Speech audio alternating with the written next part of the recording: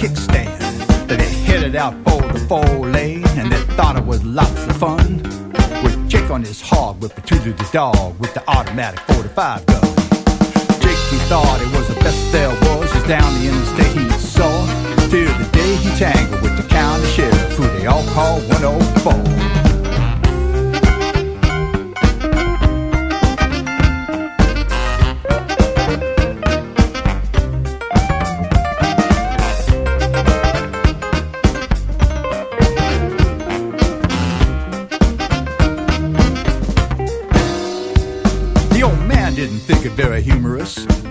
Didn't like to get sassed. Cause just that morning he had a cup of coffee with a cop named Pendergrast.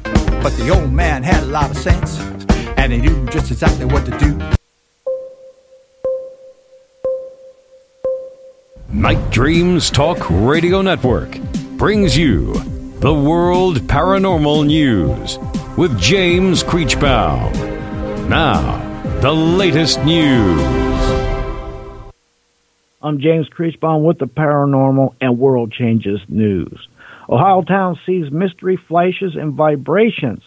Recently released footage shows the moment the skies over Bethel, Ohio suddenly lit up in multiple colors. According to reports, the phenomena, which took the form of a series of bright multicolored flashes, occurred without warning just before 7 p.m. on January 12th. One witness says the sky was flashing pink and purple, super bright. Thought it might be lightning, but it's fairly cold, 40 degrees, and there was no thunder. It was crazy, super bright. Another witness even reported vibrations and strange humming sound. And when the power went out, there was the light show, she said. The floor was vibrating and there was a humming noise. It was really odd. So far, however, no explanation for the phenomena has been found. Elon Musk claims 1 million humans could live on Mars in 50 years. Elon Musk tweeted out new details of SpaceX's plans to make the human race multiplanetary.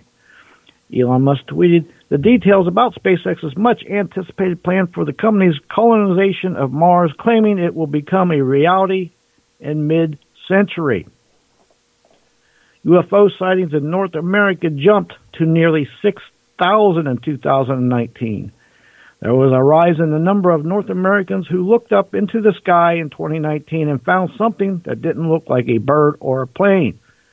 The National UFO Reporting Center, which tracks calls and messages from people around the U.S. and Canada about strange sightings in the sky, reported that it received 5,971 sightings in 2019. That's a jump of 3,395 from the previous year. NASA wants to grow moon wants to grow a moon base out of mushrooms. Yes, NASA scientists are exploring a peculiar strategy for building a moon base and other off-world structures, growing them on site out of living mushrooms. Scientists believe a second planet may be orbiting Proxima Centauri. Scientists believe they have found evidence of a second planet orbiting Proxima Centauri the closest star to our solar system. Now, they found a low mass candidate planet around half the size of Neptune orbiting the star. It's located in a planetary system called Alpha Centauri. Next news break, top of the hour.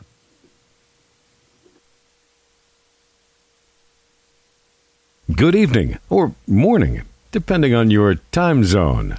From the Pacific to the Atlantic to you worldwide. Get yourself a cup of java and find a comfy, easy chair. And get ready for Gary and his guest on Night Dreams Talk Radio after dark. And now, here's Gary. And here I am. Let's get our guests on the phone. So we'll do that next here on Night Dreams, and we're going to find out, excuse me, what really dark secret had happened with this guy and his family. Yeah, it sounds intriguing. Gotta know. It does. Well, I think we already got him on the show. And, uh, well, uh, do we have Kevin Miller here? Yeah, this is Kevin. Well, hi, Kevin. How you doing? You got Gary on Night Dreams Talk Radio. I'll tell you what, you were so fast answering that phone, I wasn't even prepared. yeah, you know what? I just sat down here. I got my water and I and I got my phone plugged in, and and boom, you just you picked just you called me. So I was quick to the draw. How you doing tonight? I am doing good. And you're what? Out in California? Yeah, yeah. We are currently out in the Burbank area, California. We're uh, originally from uh, Arizona. I was actually born in Ohio, but uh, grew up in Arizona. So we've been here about six years in Southern Cal. Ah, my daughter lives in Hemet, California, and you know, oh, good. Uh, yeah, the last mm-hmm. time I went and seen her, I got on my Harley. We went to uh, nice. Reno, mm-hmm. and then I went to Pahrump to see my friend who's no longer alive, Art. And then we went yeah. to Las Vegas. I lost a whole bunch of money. Went to Hemet, California. The weather was beautiful. We did it in the yeah. end of uh, May and they predicted mm-hmm. no rain. And then after I spent a couple days busy my daughter, they mm-hmm. had the biggest rainstorm in Southern California than years.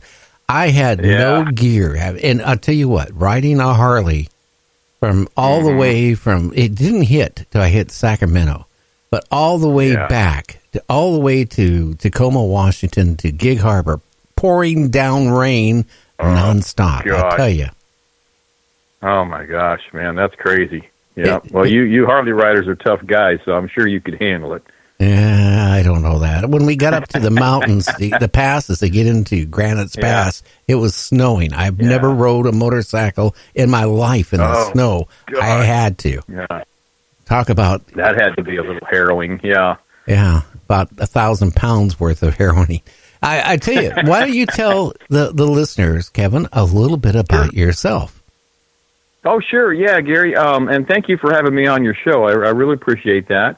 Um, I am a an Air Force vet. I um, I just recently wrote a book, my first book, a debut book, a, true story actually about my grandfather. Um, a story I just kind of had to tell just because, uh, you know, he, he was just an amazing man. And and here's where the here's where the story begins. Is is I kind of woke up one day and learned my name is really not Kevin D. Miller, but my real last name was actually a, a very Polish name, Puhalski.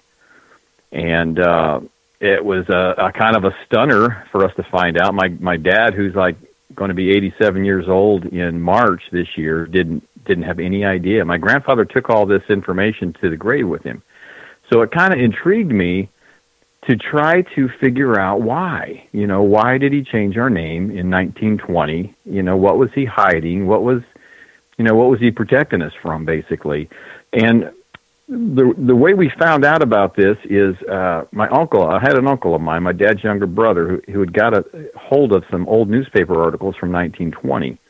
He had some cousins that were doing some genealogy uh, studies, and they came across this, and, and they gave it to him and said, "You might want to read these because uh, your last name really isn't Miller." And it chronicled uh, murder, a family murder mystery uh, scandal in 1920 um, in rural Ohio, where my great grandfather, George Puhalski, was murdered in his sleep in his bed in his farmhouse. He was a rich farmer in, in Ohio, and my great grandmother was uh, bound and gagged, and she sent my grandfather, who was 12 years old at the time, to grab the sheriff.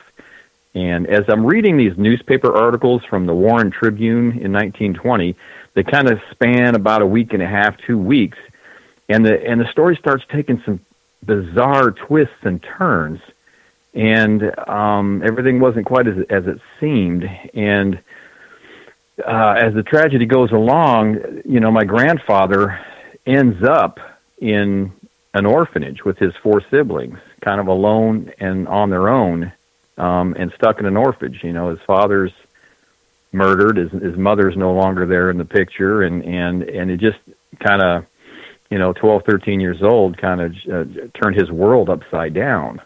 So um, he decides that he is going to run away from this orphanage because the orphanage was not a good place. It was not a nice place in 1920. And he hops a train and actually uh, head, ends up in Chicago and gets a job in a steel mill as a bar catcher. He lies about his age, and and, he, and a, a couple takes him in. A Polish couple takes him in, kind of gets him into some bootlegging, and he saves enough money to then come back, you know, six or eight months later and steal his siblings out of that orphanage, and then you know takes care of them, and and then the last part of the story is kind of his you know his love story when he meets my grandmother. That's kind of the gist of the book. So um, you know, so I, I've, I'm a new author, and and I have the book. I had released this book back in August um, after doing about three years of research of just uncovering uh, all these you know secrets and all these you know amazing things that just kind of turned up. But why would they have Kevin? Why would they change their name over that? Well, I, I think the reason my grandfather changed our name was to um, to just protect his family, protect his mom, protect the family, protect all his descendants, his children and grandchildren from this family scandal. You know, because we're talking 1920, you know, and it was you know, it was just a horrible scandal. It's a horrible story, but it, it you know, tragedy. But um, so he was. I truly believe that he was just trying to protect us and protect our family. Change our name to a common name like Miller. You know, it's a very common name to just kind of get away from and obscure that past so that it uh, you know just doesn't get passed along. And he did a good job of it because uh, he and his siblings swore a vow of secrecy and they took it to their graves and didn't talk about it. You know there's clues here and there you know that finally come together and, and talking to relatives and, and reading you know uh, letters and doing research. But um, I, I truly believe he was trying to protect his family. Is the reason he changed the name. Well, do you, did they ever figure out what the murder uh, was about? What caused it? What was that about? Well, yeah, um, it, it is in the book. Um, be a kind of a spoiler. I mean, I guess I could tell you if you well, really want to know. He, he, well, here's the thing. I yeah. mean, you know, yeah. I have you booked for an hour and a half, and you know, oh, sure. usually when I, you know, when well, like I had a guy on Thursday uh, that talked about his book about, uh, yeah, you know, uh, Jack the Ripper, and we went oh, into nice. we went into the all the whole, you know, everything about Jack the Ripper, what sure. caused it. I mean, Yeah. I, we're not asking you to give the spoiler away. What we want to do is find out. Oh, Yeah, I mean, if Yeah. we sit there and just say, "Hey, well, the family got murdered in bed," okay, people are going to go, "Oh, okay, well, a lot of people No, get I- murdered I, I you. bed." Gotcha. I, I can totally, I can totally give you that because here, here's, here's the why. Um, let me let me go back and, and I'll paint the picture for you. My great grandfather was a Polish immigrant. My my great grandparents were Polish immigrants, and he was a very rich farmer. He had uh, a farm in uh, Southington, Ohio. It's outside of Warren. It's about ninety-eight and a half acres, and he owned other properties but he's a good old boy of Southington, and he and he drank a lot. He he was a whiskey drinker, and he was extremely abusive, physically abusive. He he would come home, and he would just beat the tar out of my great grandmother, um, so much so that she actually lost uh, six pregnancies to his beatings. And he, you know, he would just drink and, and get real mean. And then he started um, beating my great aunt, his daughter, who was 15 at the time and he was beating her, you know, and, and just and just be he was just extremely abusive, just a, a real cruel, very cruel person. So, um, you know, and, and, and if you think about it, I mean, you can kind of see where this is going. Um, I think my grand great grandmother had, had had enough. You know, it was it's kind of one of those things. It's like you can do this to me, but you know, now that when you're doing it to my child, you know, um, it just kind of goes across the line and stuff. So, um, you know that that's that's kind of where it led you know. I mean she um she'd had enough and she had actually conspired with her brother-in-law to um you know to to, to take care of him to have him murdered. And uh and tried to cover it up you know. She she kind of you know blamed uh three men you know that broke into their farmhouse stole six hundred dollars and murdered him and stuff. That's kind of the story she told to the law. And as it as it got investigated over the you know the, the weeks and stuff, her story kind of broke down, and, and they kind of figured it out and pieced it together, and then they had some confessions as to where it went. So um, so that's kind of where it was left. And then, of course, my grandfather, you know, he's lost his father, and now he's lost his mother, and he, him and his siblings are now, you know, just kind of all by themselves in a in a pretty bad, you know, uh, situation in an orphanage in 1920. Interesting, but it's